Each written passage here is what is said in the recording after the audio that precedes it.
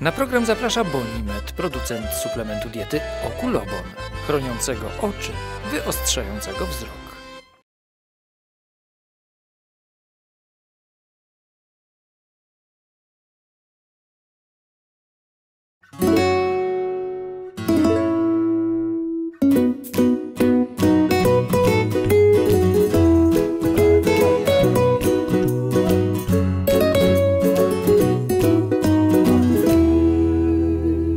Witam Państwa.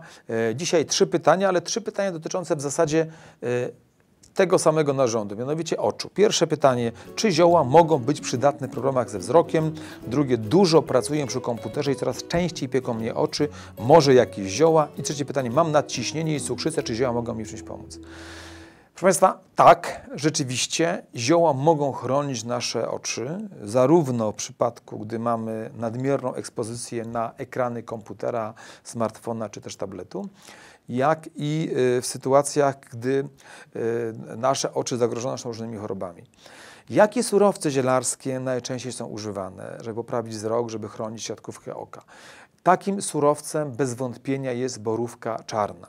Borówka czarna, e, która e, jest e, superfoods, czyli super owocem, jest w stanie w przypadku oczu zarówno zapobiegać uszkodzeniu siatkówki oka, czyli tej wewnętrznej warstwy, która znajduje się w oku, i y, jednocześnie jest w stanie borówka czarna stymulować pracę naszego mózgu. W pewnych badaniach pokazano, iż u osób starszych szczególnie dobrze w przypadku chorób oczu sprawdza się borówka czarna.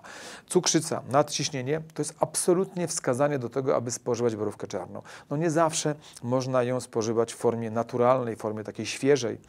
Y, dlatego też często odwołujemy się do ekstraktu z borówki czarnej.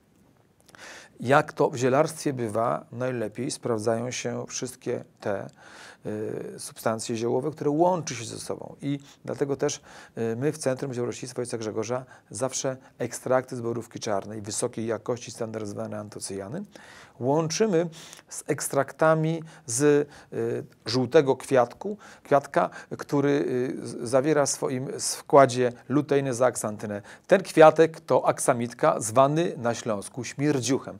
Piękny pomarańczowy kwiat, który zawiera w swoim składzie luteinę za aksantynę. Dlaczego luteinę za aksantynę? Dlaczego te dwa karotenoidy? Otóż, otóż dlatego, że one mogą zahamować uszkodzenie plamki żółtej, bo w tej siatkówce w środku tej siatkówki jest taka, takie jedno miejsce, w którym widzimy barwnik, który jest takim istotą naszego widzenia. Tam właśnie jest najwięcej receptorów wzrokowych. I właśnie to może ulec uszkodzeniu. Ta choroba, która, która, w której uszkadza się plamka żółta, nazywa się AMD, czyli zwyrodnienie plamki żółtej związane z wiekiem. I u osób starszych stosowanie ekstraktów z e, aksamitki jest bardzo wskazane. Dlaczego nie naparu z aksamitki? Dlatego, że karotenoidy nie rozpuszczają się w wodzie.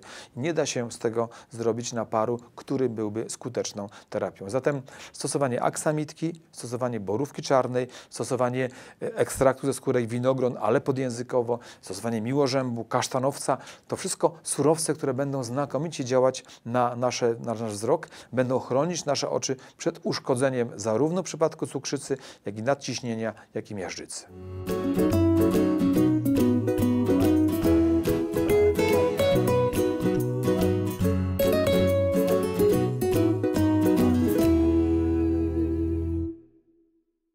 Sponsorem programu był Bonimet, producent suplementu diety Okulobon, chroniącego oczy, wyostrzającego wzrok.